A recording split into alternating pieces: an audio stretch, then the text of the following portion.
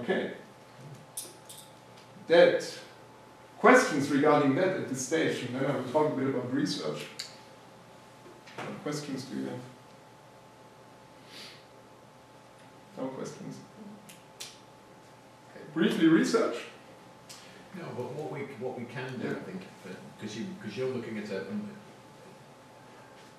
as an institution, you're moving into that from our conversations. I understand Yeah. you're moving into that blended learning space, Yeah. and I think from the conversations that we could have today or what we can share, I think we can, we can certainly be assistants in that space Mm. around actually perhaps giving further perspective as to what blended learning Yeah. is. And show you some of the platforms and some of the environments that we've been using for, for that, that experience. So I'm also e-learning coordinator for our university. that's that's a job that's kind of doomed to fail because uh, colleagues do not like it when you tell them anything and you do not have any power. So you can just try to convince and outline the benefits and advantages. And if they say not interested, then you can't do anything. But yeah. yeah, absolutely. We can certainly have that conversation. yeah.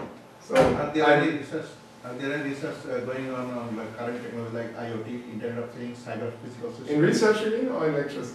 So, yeah, uh, any project, uh, like. Yeah, I mean that's a big thing in Germany at the moment. Yeah, so huge amounts of money, research grants flowing in. Yeah, I can talk about research a bit. Um, so where is it? Here we are. So we structure our research around so-called research centers of excellence, and that's a full overview what they offer. So we have nanoanalytics, chemical semiconductor sensor technologies, sensoric applications, biometrics, mechan- mecha- mechatronics, software engineering, sustainable building, because we also have the civil engineers, architects, IT security, so security is a big issue in the context of Internet of Things, um, biomechanics, um, yeah, I mean, um, there's a lot going on, and since I mean we have we have 230 professors, so to be honest, I do not know what everybody's doing in each faculty. And it's very much professor driven, although we have those centers, it's really driven by individuals and the amount of money they, they bring in and what they drive. Um, yeah, so it's better to talk about what colleagues in computer science are doing. So I ask every colleague to create one slide to give a brief overview of what he or she is doing. So um, we have two, or those four kind of uh, centers of excellence or clusters are more pertinent to our faculty. That's robotics and smart grid, so optimization of complex production process, remote production, architecture of medium voltage networks or smart networks, because we have a very high share of renewable energy in the electricity networks, creating a lot of peaks, you know, in the in the system, that needs to be balanced. We, and that's also being taken on by the Energy and Resources Center of Excellence. So they all, uh, do all those smart grid in combination with IT security. Biomedical engineering is big, so medical image processing, it's a colleague of mine, biosignal processing, biomechanics, sense, and cluster IKT around IT security, sensor networks, uh, very much related to cars, communication in the car, and interconnection of production facilities. Okay, so um, we have this so-called Indigo network. They talk. We call it digitalization. We call it Internet of Things. We call it also Industry 4.0. Um, yeah. So let's look what our colleagues are doing. That's Stephanie, Steffi Scherzinger. She was the one working for Google as an R&D engineer. She's in knows SQL schema evolution research, so you, you move from relational databases to NoSQL databases and you have problems. Um, as far as I understand, when you when you develop something and your schema changes, that you experience conflicts, and the question is how can you update your schema? As far as I know, that's what this picture is supposed to, to show. Many publication, publications down here. So shows. So she's very much in the databases, big data. That's me, so I'm doing near offshore lean management of IT organizations and shadow IT with my three PhD students. So near offshoring is yeah, that you do your application development in India. What are critical success factors for this? Lean management is that you try to apply management methods from production management to service organization like the IT organization and what makes this successful. And shadow IT's approaches to prevent and cope with IT that is developed in the business departments without the knowledge of the IT departments. And that's at first sight a problem, but it can also be positive in terms of um, production gains or being more innovative. Medical image processing, that's my colleague Christoph Palm. So um, they do brain imaging and most stuff of machine learning, you know, to analyze the images. He also has a 3D lab where you try to simulate hand surgery. Hand surgery is very hard to practice. And so um, you can develop software, you know, using um, glasses to train uh, future surgeons how to, how to perform surgery. He also used to be at RWTH, RWTH Aachen, and has some um, top-notch publications from there. Um, the digitalization lab, so that's Internet of Things, here digital industry on the right-hand side. Um, it's one aspect, and it's my colleague Wolfgang, he's also doing software engineering from a quantitative perspective um, with regard to global collaboration. Ethernet in, in cars, so by now when, when you produce cars you have proprietary communication networks in the car, the so-called CAN bus which is very outdated and which is very bad when it comes to deal with the amount of information that is now supposed to travel through a car. So there are attempts to bring Ethernet to the car because yeah, it offers more bandwidth, maybe more reliable, and that's what they are uh, researching on. And I haven't understood this one, but it's my, my colleague um, Frank, and it's basically operations research and optimization. So he's very much into modeling, modeling of production flows, modeling of inventory flows, and optimizing those inventory production flows.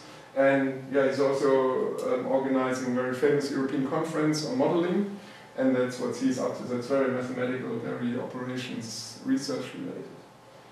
Um, that's a security project my colleague Christoph Skornia is currently uh, pursuing several millions of funding in this case um, over several years. And they want to develop a so-called profile-based anomaly detection so that you monitor your network and that you detect when something is not going the way it is supposed to be kind of automatically. So that you don't, um, yeah. And so you you have a fast and reliable detection of attackers and you can block or isolate them so that they do not cause any harm.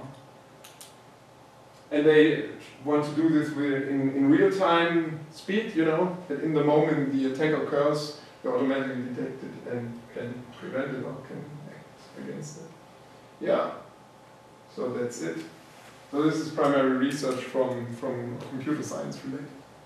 I mean, we have, when it comes to research, in addition to lecture exchange or student exchange, what from my perspective works well is that you, for example, try to do to co-supervise master theses. That you have a student, either a New Zealand student or a German student, and you send him back and forth for maybe four weeks, eight weeks or so, and you co-supervise the topic he or she is working upon, and that brings you closer together as colleagues, as researchers, because if you immediately want to start with a research project, that's, uh, at least in my experience, very hard. You do not know each other. Yeah. And so using students as kind of facilitators or vehicles to bring researchers together on low barrier, low risk, um, not much investment needed level, that's, that's usually a good idea. And if they are in Germany, they could also enroll for papers, in addition to doing this uh, thesis work, so maybe enroll in one or two papers, since it doesn't cost any money, it's not a problem. So that's an idea, and also those projects are an idea. So we run these projects every semester, and we sometimes do joint projects with partners from Ireland or France, where we form mixed groups, so let's say two German students, two French students, and they do the project together and develop something. And it's either a project being offered by the French um, partner or um, through one of our German professors. But then um, both professors from France and Germany co-supervise the project. And that's also kind of nice.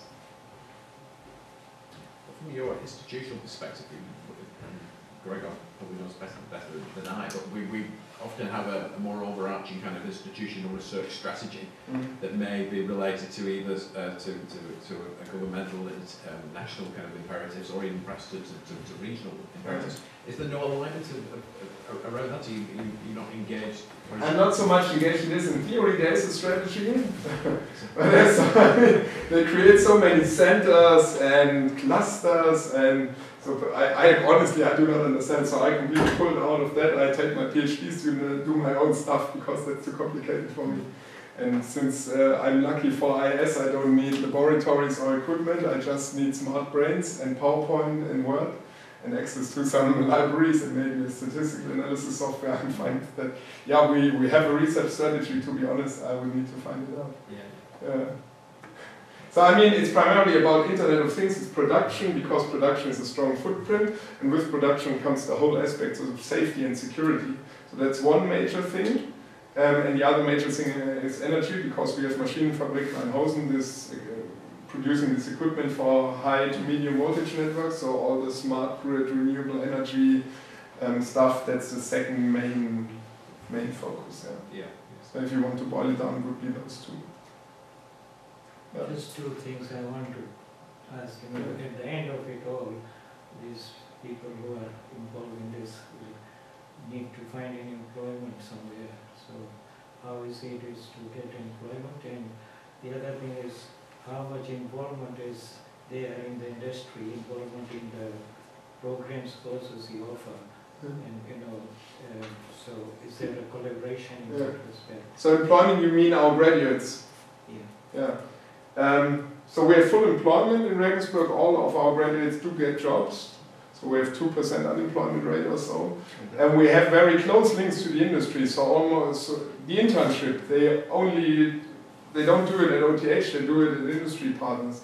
Most of our students work while they're studying and they do not work in restaurants and cafes, but they work, let's, in our case, in the IT sector or for um, one of those companies doing IT stuff.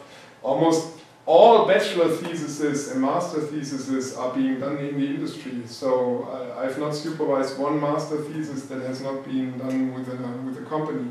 And what I usually do is that if I supervise them, I meet with them at their employer's um, location two or three times to get in touch with the company. Do they pay them as well or they are? on- Yeah, usually they do pay. Also for, for the internship for sure, and most uh, yeah most often also for the master thesis. It leads to the effect that our students are spoiled. So if they want, let's say, do an internship in New Zealand, I have many contacts in New Zealand. I can provide them with an internship, and I say, you know, hmm, no pay involved, and then they pull back because they're not willing to work for free anymore. It's not. Even for projects, when they do those capstone projects, these mini projects, and they do it um, for a company or with a company, they expect some money. And yeah, industry is willing to pay. There's an absolute shortage of skills and staffs with regard to, to IT. So yes, I mean we have very close tie links to the industry. We also have kind of a supervisory board for our management, and this is um, 50% the university senate. I'm a member of the university senate, so of the kind of leadership team, if you want. Um, and the other 50% are industry representatives, and those are all from the executive boards of the companies in and around Regensburg. So yeah. And that's very much different to what the university sector does in Germany. That's very much more fundamental research. I mean, they also work with industry, but it's more, it's less applied. Yeah. Interesting. It's certainly a very interesting selection of uh, research areas.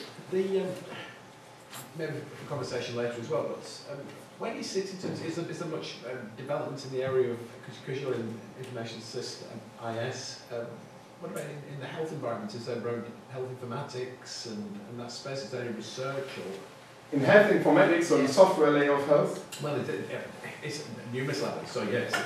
I mean, to be honest, um, we have three professors in the area of medical IT, medical health informatics, stuff like this. Mhm. And two of them are very hardware or production or you know equipment focused. They both uh, so um, one came from Carl Zeiss, uh, which are in Jena, which produced this um, you know the, the, the equipment, medical equipment, medical products. And he was uh, head of an R&D unit. And the other one, Christoph, the medical image processing guy from RWTH Aachen. Um, yeah, that's the medical perspective, this machine learning perspective. And we just recently hired a third colleague for all the for the software layer, you know, as you said, hospital information management and stuff like this. And I mean, since he is so new, there's not much research going on regarding that. We do our medical IT bachelor and uh, master in conjunction with the university hospital in Regensburg. So they get a lot of practice out of that, and we get a lot of lectures from the university hospital. But research-wise, there's aside from medical imaging, there's not much going on. Correct. But this will grow probably in the near future. I mean, that was our youngest degree course we introduced a few years ago. I think it's a smart move. I think we're in the right space. And it's only from a personal interest perspective, but, Yeah. but within Open, we've got Orion Health, and uh, Mm. certainly the, the health big data is, is, is certainly evolving very, very quickly. What we, I mean, I'm more than happy to bring you in touch with those colleagues and that you can uh, talk more, more content than you can with me. In fact, I think that big uh, health, big data, uh, on, on smart health system, Uh, IoT is one of the things that is working on. okay. Good stuff. Well, thank you very, very much. You're welcome.